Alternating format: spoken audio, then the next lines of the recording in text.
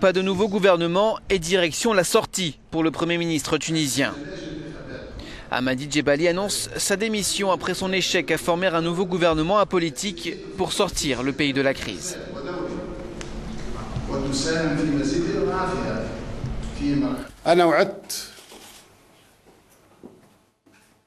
Je m'étais engagé qu'en cas d'échec, je quitterai ma fonction et démissionnerai de mon poste de chef du gouvernement.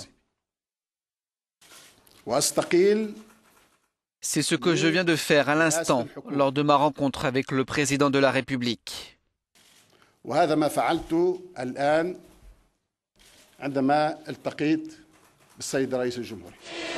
Hamadi Djebali tentait de former un gouvernement technocrate pour tenter de calmer une situation très tendue après l'assassinat de l'opposant politique Chokri Belaïd le 6 février dernier.